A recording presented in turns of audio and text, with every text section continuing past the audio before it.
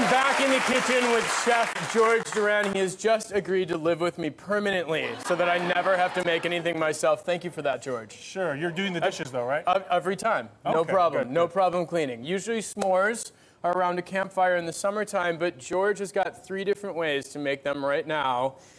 This may be my favorite thing, so what please please give us the information. Okay, s'mores, classic. Everyone knows this. It's marshmallows, chocolate, and graham cracker. And what I've invented here is a s'mores chocolate chip cookie. Fine. Very simple. Done. Sold.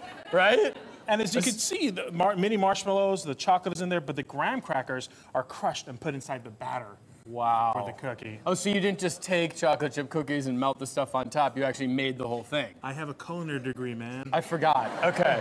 I'm just so excited about this. All right, so can I taste it? yeah, go ahead, give that a taste. It's a very, very decadent, special treat. All right, so we're gonna put George Duran's recipes on the nateshow.com. I'll let you know in just a second whether or not it's worth making. I put a little cinnamon in there too for the graham cracker taste. Okay, seriously.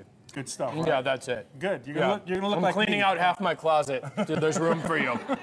All right, what? This is amazing. I'm gonna eat this whole thing. What Go are we making it. next? There's a lot more But- because what happened one time was that I went camping. I ended up leaving all the s'mores ingredients in one bowl next Mm-hmm. to the fire. They all melted with each other, and I ended up ma- making this dish over here, which is called s'mores nachos or smachos. Smachos. That is a twist. And what you do pretty much is lay it all into the oven, into Mm-hmm. the little uh, cast iron griddle or whatever you have. Just put it all together with the mini marshmallows, and you have your friends dig in with their fingers, just kind of dig What? in there and kind of just So it's like a enjoy just communal like smacho. Yeah, pretty much. It's a very Oh, fun thing. what? Everybody, This looks so good. Okay, hang on. Whoops. All right. Oh, yeah, man. yeah. And the best part, you lick your fingers afterwards. It's good stuff. Yeah, okay. Delicious. And then what I've done actually is I've taken it a whole new level of twisting and I have invented an inside out s'mores. Mm-hmm. And what I do is I. Inside take, out, okay. Inside out. So pretty much you have the graham cracker, chocolate, and then the marshmallow on the outside. Okay. A little bizarre. I'm having an existential quandary right now because I have a cookie in one hand. I want to dip my hand back into these smachos, and now you're talking about the upside down one. What should I do? Nate, put the cookie down. You're Okay. gonna help me roast some marshmallows. Done. Okay, The cookie's so down. We're gonna start with these jumbo marshmallows, and you can find these almost anywhere. They're Okay. jumbo, large size. They're very important. And we're gonna start roasting them on this stovetop over here. And we have this little fun toy over here. Okay. Right over here. It's called a Real Roaster by Hogwild Toys. Right over here. You kind of put it in there. Right. And then wait a minute. You extend it so you're far away from the. There you go. The flame. Okay. And so, like a reel, like a fishing reel, you kind of put it over the flame, What? and you want to go in there. This is fantastic.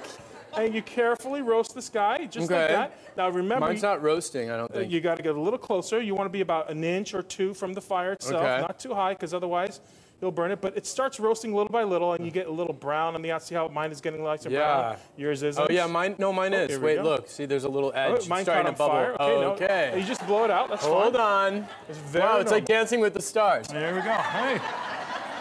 Okay. So, and it's per- perfectly fine if it, if it chars a little bit. Some people like I actually like the charred part. Some people like it. You shouldn't really do that. It's not the best, but it's okay. You like it a little crunchy. Well, are you gonna die or is it fine? Not at all. It's Okay. perfectly fine. All right. So here it is. So what's happening here is the outside part is nice and toasty and mm-hmm. melted, and that's what you want. You're going to kind of pull the exoskeleton, or so to speak, out of very gently, just like that. Okay. Okay. Just hold it like that. I'm going to put this down for a second. Okay, mine's not really working, That's but yours fine, that's did. fine. That's great. So see the inside Culinary school in France, everyone.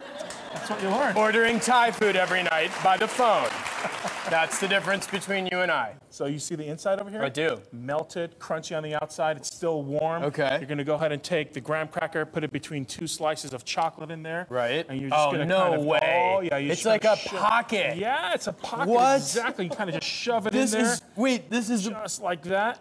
And that residual heat melts the chocolate. come on. You can hold it with your hand Okay. and kind of dig into it. Look at that final I, piece wait. over there. So look at so and then and then you flatten out the marshmallow. You see that, Yeah. everybody? So it's easy to pick up. Oh wow. All right. Well, let me see if this one's good. okay, go ahead. All Give it a taste. Seriously. Not bad. Amazing. Yeah. Amazing. Thank you. It's a three-year culinary studies in France Is just it? to get to That's this. what, right. The pastry chefs are freaking out right now. George, wonderful job. Thank you very much. Wonderful job. All the ingredients for George's recipes are on thenateshow.com. When we come back, how you can take an already great line of furniture from IKEA and transform it into something unique, personalized, and amazing. We'll be right back, everybody.